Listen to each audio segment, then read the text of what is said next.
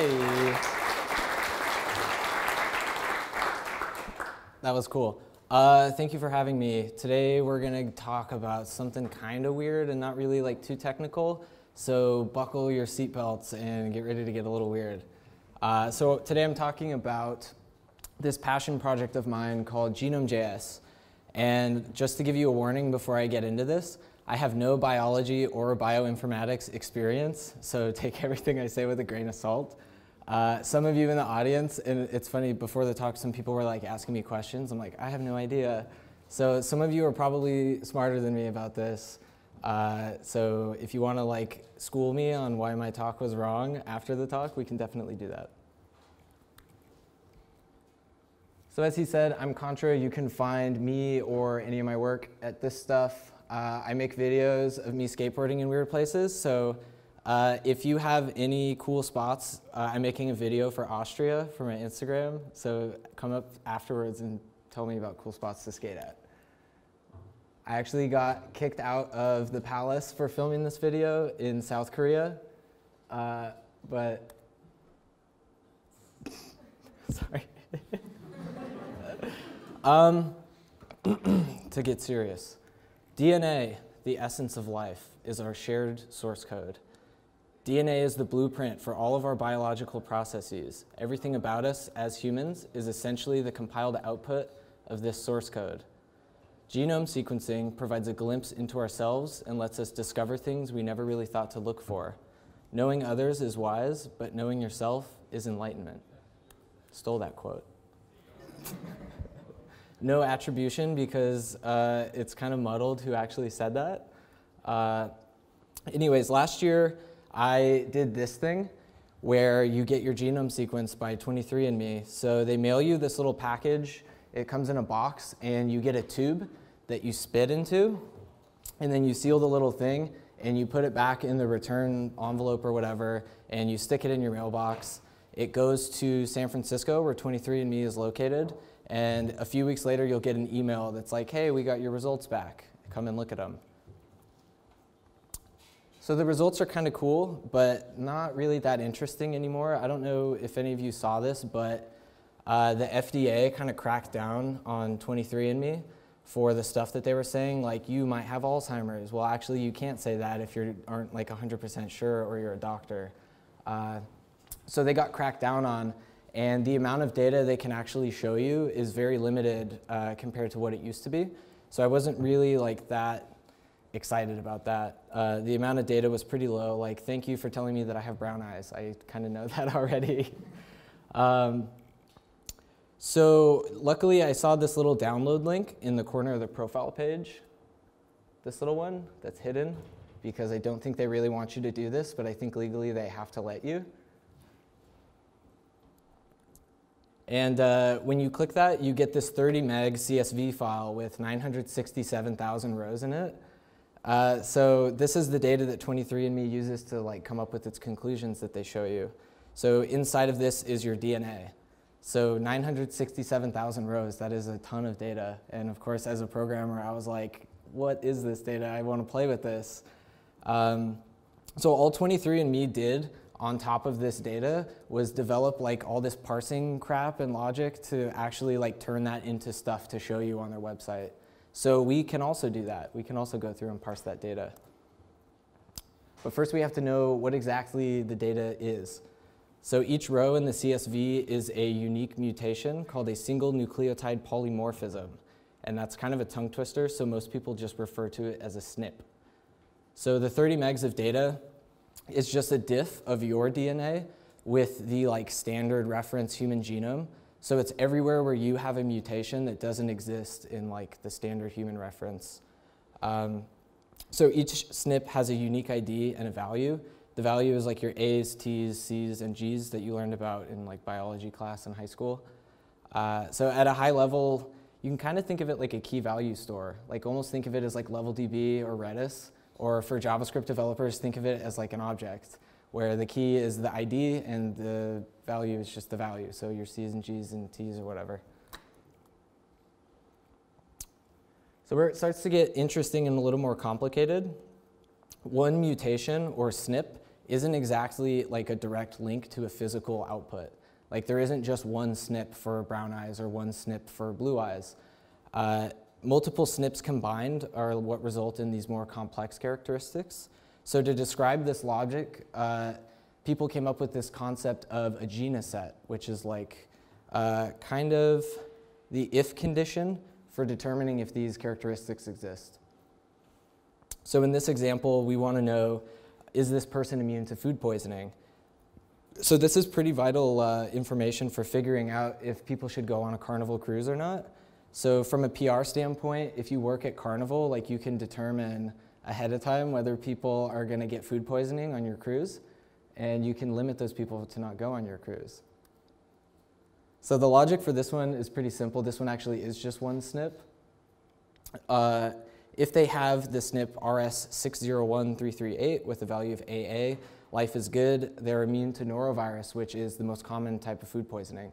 So when I ran my uh, stuff through this, I actually found out that I have this mutation, which means now I can like go to Mexico City and eat street tacos and not have to worry about getting sick, even though I still got sick from that. But uh, kind of a false sense of security.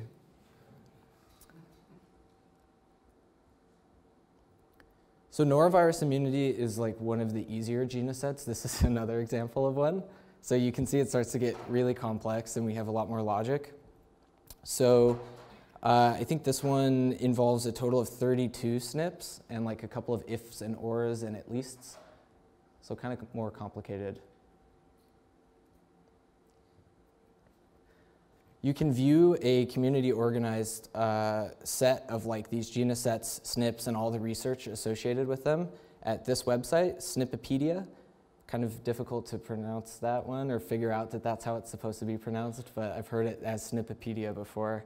Uh, so the work that like I did with this library and all of this stuff that I'm telling you about would not be possible without this website. This website taught me like everything. So uh, serious props to the people behind this website they get my Yo Y'all Are Dope award for 2015. so basically, you can look up any SNP uh, and see what it does, or you can look up a genoset. So like GS256, these also have IDs, the genosets. Uh, like this one, I think is for eye color. Uh, it'll tell you like the formula for it, and then you essentially just go and convert that to JavaScript to actually go through and like run through the data and determine if a person has these characteristics. So with these resources, we can start analyzing our own DNA and we can find out stuff like what diseases we're prone to or what drugs aren't going to work on us. So if you go to the hospital and you like had a rusty nail in your leg or something, maybe the drug to treat that like isn't going to work on you. So it's good to know that ahead of time. So if you go to the hospital, like they have your DNA and they're just like, oh, well, we know that this isn't going to work, this isn't going to work, so we'll use this one instead, instead of like you dying from a rusty nail in your leg, which is like a totally preventable thing. So there's a lot less practical stuff, like if you're just curious about it. Some people find this cool. Uh, like where your ancestors came from, how fast you metabolize caffeine and alcohol. So if you find yourself like drinking a coffee and you're up for two days, like that can be explained by looking at this file.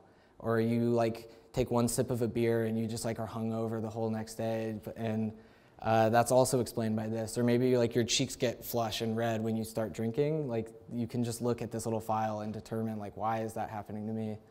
Um, so you can also do something like this.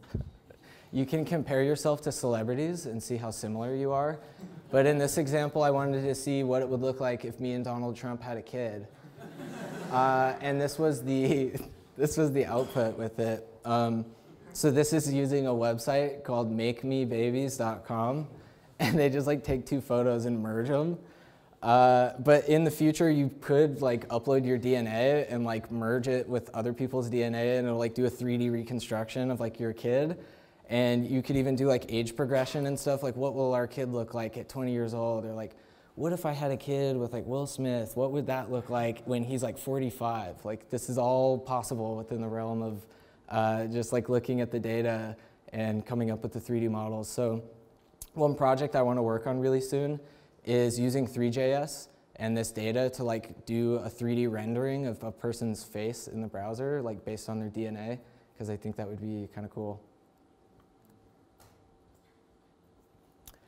Another idea that I want to propose, uh, I think that the implications of understanding this data reach into web application development as well. So I want to live in a world where like I can put my thumb on my phone and I can authorize certain like chunks of my DNA to apps so they can use it to like basically use me as a piece of configuration. So uh, it, I think it would work kind of like the permission system for apps already. It's like, hey, this app wants to know uh, your muscle performance or something, or this app wants to know your food allergies.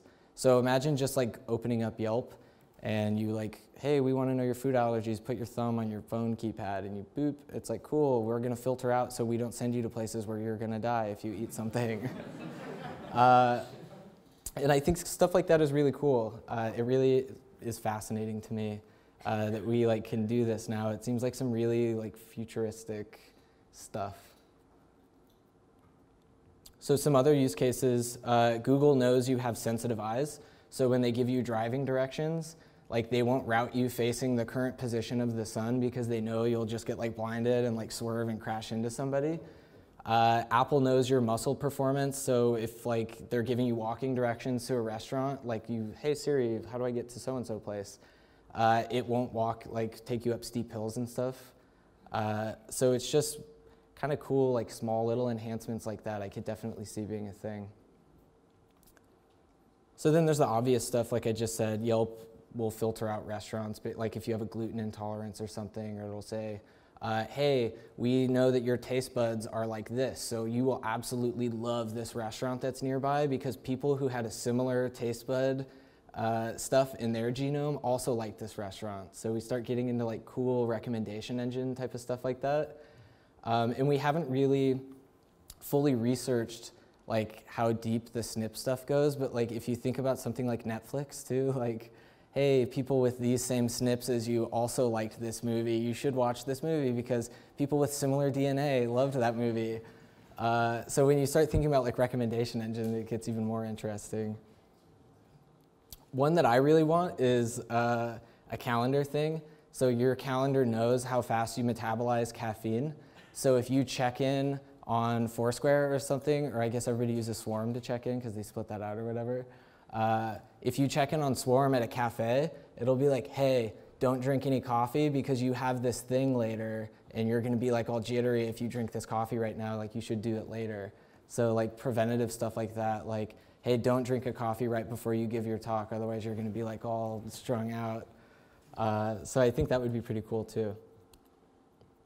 So right now this field is kind of the Wild West, and there's like an insane amount of research uh, that still has to be done before this is kind of a feasible thing to do. But I just wanted to plant this idea in everyone's heads today. Like I think this is definitely going to be a thing that people are doing like 10 years from now. Sharing your DNA with like an app to like configure it, I think is totally doable. And I want like all of these engineers in this room to start thinking about doing that in your app. How could you use DNA to fuel like your app or make your app better or have a better user experience uh, for your people who use it.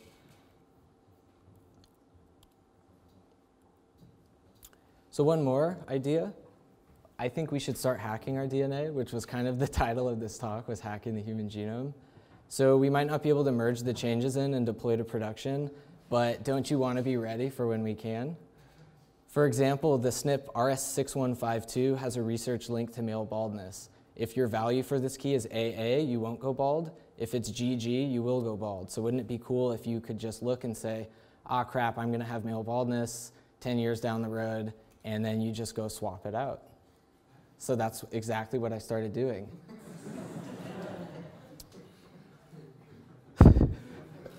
So I have one file uh, with my current DNA and one with my ideal DNA, and I take pull requests for my ideal DNA. So if somebody's just looking, you know, as people do, like, oh, I'm going to go just browse this person's DNA on GitHub, uh, and they see something that they want to fix, they can just go send me a pull request. Uh, and that usually results in like really funny GitHub issue threads where I'm like, well, actually, I think I do benefit from having slower muscles. Um, so yeah, this muscle performance one right here, uh, it's RS181573, the little green line. And this controls a protein called alpha actinin 3. So if you have a value of TT, your muscle endurance is like pretty crappy. If you have CT, it's like about average. Uh, if you like could be a sprinter, if you like practice and like worked out and stuff, you could compete in like sprinting competitions. Uh, but if you have the value of TT, you're like Usain Bolt, like you just can run like naturally, you just have super good muscle endurance.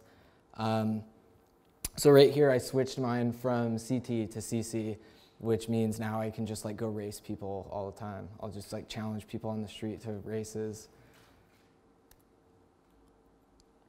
So this is a cool project. It's a little creepy, but also kind of fun. uh, it's called Stranger Visions by Heather Dewey Hagborg. And basically she set out to create portrait sculptures from genetic material collected in public spaces. So the theme of the project was supposed to be like a creepy, overreaching government could use this for like surveillance tactics. But I don't really agree with that because I don't think that the government will ever be competent enough to do that or like technically competent enough for that. So maybe I'm just a glass half full kind of guy. Uh, or maybe there never was a glass. Whatever. so the first portrait uses a cigarette that they found on a street corner in Brooklyn.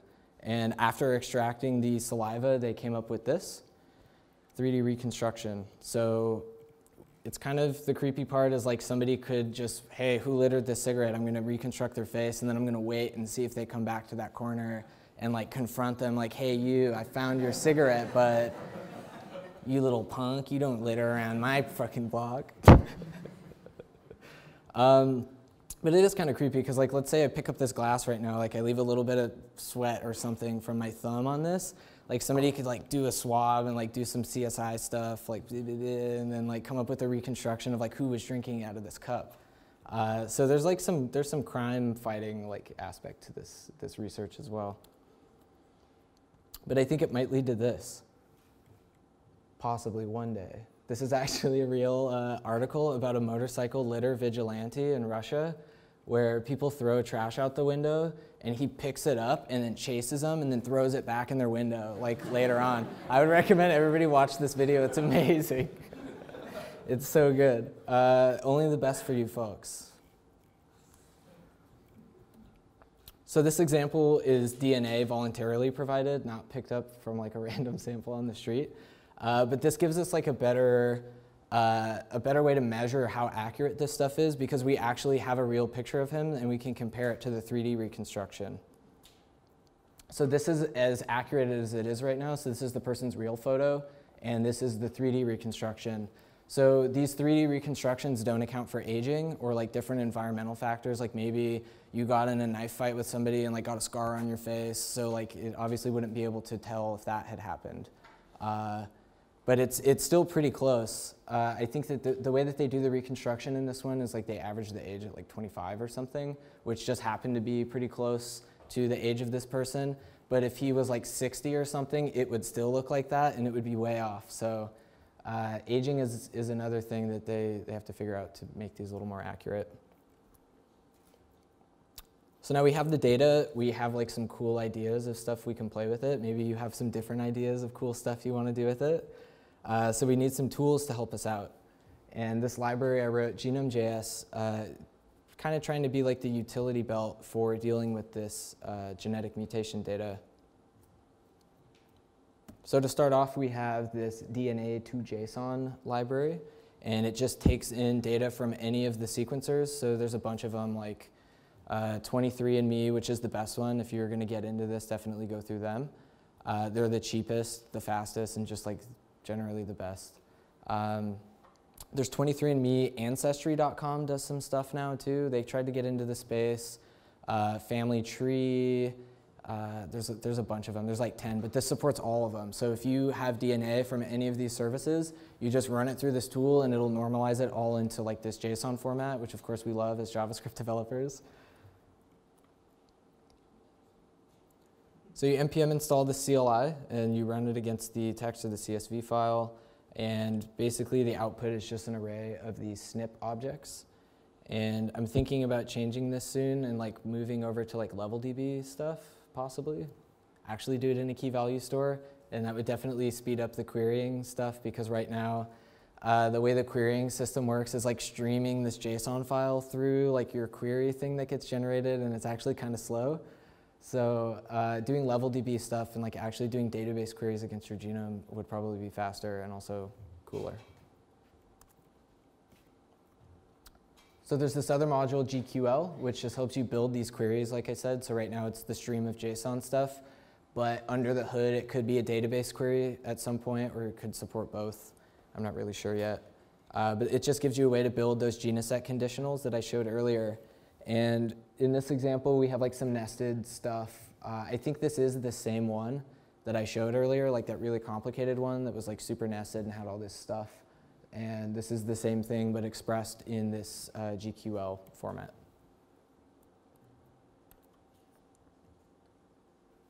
And this is that simple one, the norovirus genoset, of whether you can get food poisoning.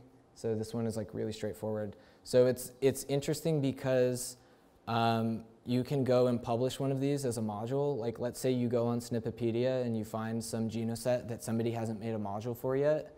You can just go write the little query and then module.exports query, and then you just wrote like a DNA analysis module and like put it on NPM for other people to use. So uh, it lets you like run your data through like this. You just take the thing and pipe it through. Pretty straightforward. Um, but here's some of the ones that are on NPM right now. You just tag it with the Genoset keyword. That way when people are searching for stuff that they can run against their DNA, uh, they can just go search for that and then stuff comes up. And what's cool is when we have these modules, we can start combining them into aggregate analysis tools. Like I want to pipe all my data through all of these different genosets and then like come out with the results. So that like facial reconstruction thing I was talking about, like making that would be pretty cool, would just be like one of these aggregate analysis tools that pumps out a bunch of results and then spits that into like a Three.js function, like take results and like output a model or something. Uh, so this is essentially how you would start that process.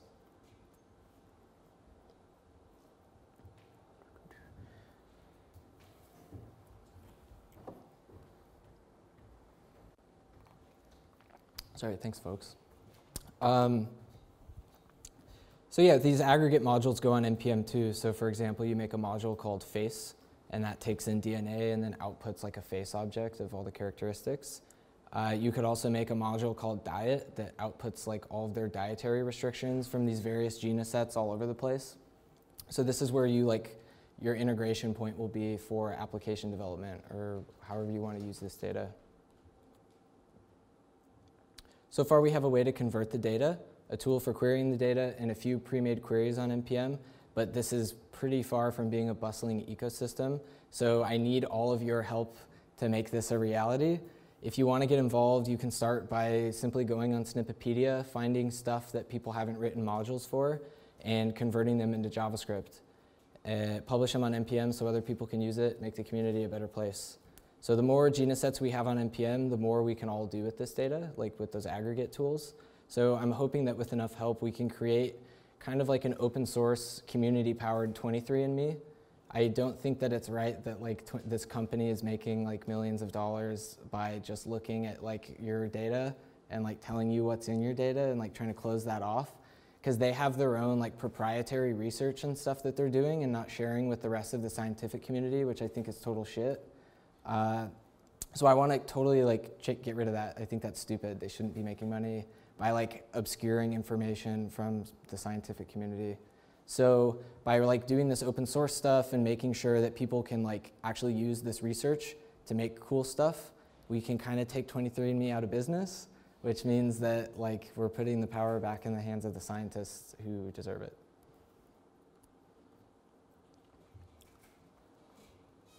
So just really quick, I want to rejoice of how awesome this tech actually is. So I want to walk through like how they actually sequence your DNA. So first, they chop a piece of your DNA into a million pieces, which of course is like, that's pretty crazy. Uh, then they wash it over this thing called a bead chip, which has millions of microscopic, specially crafted hooks that attach only to specific DNA fragments. So that means that there's like this little microscopic thing that they made for every single one of those 967,000 rows in the CSV. There's a little thing that was specially crafted to fit that row. After the beads get attached, they introduce this chemical to make them glow and get an image like that.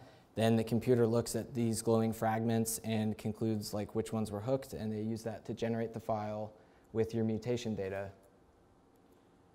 So this is what one of those bead chip looks like. And it's pretty crazy how small it already is considering like there's 967,000 little things in it. Um, but it, they're getting smaller every year too. So I think maybe 10 or 20 years from now, like, and this is a totally like off the top of my head prediction, uh, but I think that 10 or 20 years from now, we could see a thing where like one of these is in your phone and like you can scan your DNA. Like you think unlocking your phone with a fingerprint is cool, unlocking a phone with your DNA is like way crazier and way cooler. Like screw having to like put all your fingers in your iPhone database or whatever so it recognizes your pinky finger. Like touch your elbow to it or something and it'll still unlock it because it'll do it based on your DNA. I think that's super cool. So this is the cost of sequencing your DNA, and you can see it's like totally dropped recently as people have become more interested in it, and there's a lot more money in this space. I think with like all of these bigger companies getting involved, they're like really improving the technology and, and piping money into that. So right now, uh, you can do genome sequencing for under $100, and it's going to continue getting cheaper. And that 100 includes shipping and stuff too. So no matter where you are in the world, you like spit in a tube and send it. So it includes all of that as well. So it's still actually pretty cheap and affordable. Uh, it used to cost like crazy amount of money. Like even 15 years ago, like $100 million, like that's, that's pretty crazy. Uh, but it's come down pretty quick. Finishing up my talk super early, but I knew that that was going to happen. That's all I have to show you. Uh, the talk was supposed to show three things. I wanted to interest you in the data, provide the means to get the data, and then give you the tools to play with the data. So hopefully I got you thinking about like some fun projects you want to work on. If anybody has like any questions, find me afterwards. No questions. Cool. Thanks for having me.